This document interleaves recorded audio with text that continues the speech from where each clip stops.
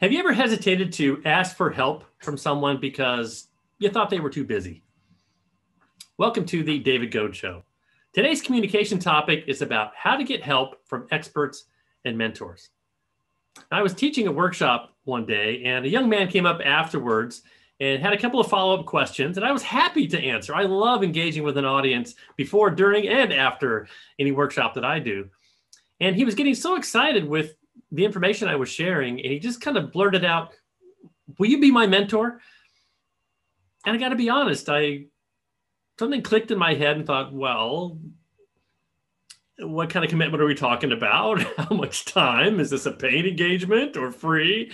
Uh, and it just got me thinking, what is the best way to ask an expert or somebody that's more senior in your industry uh, for the opportunity to pick their brain a little bit? And I've got three simple rules to follow that, that I'd recommend that'll help you get more help. And the first is to be specific. You know, sitting down with somebody over lunch and saying, Tell me everything you know, it's just kind of overwhelming and a little scary. Uh, better to be specific. Pick one or two things you want to answer and drill in on and and keep them short uh, because you know everybody's time is valuable and these days, it's just not unusual to, to chunk your information down to little pieces instead of trying to get everything all at once. Break it down one at a time, uh, be specific, and keep it short. Even asking for a 20 minute virtual coffee break to delve into an issue uh, is a good thing. So be specific, be short. And the third thing, ask that expert to refer you to other experts that you might talk to.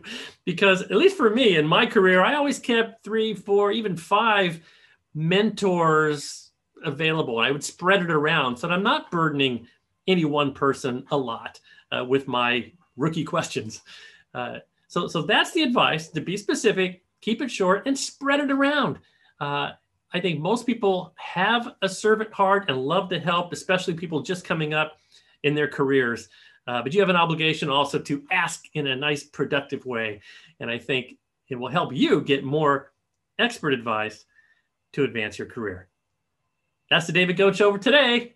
Thanks for watching. And if you have a question about communication or speaking virtually or in person, put it in the comments down below, and I'll be happy to do a show just for you.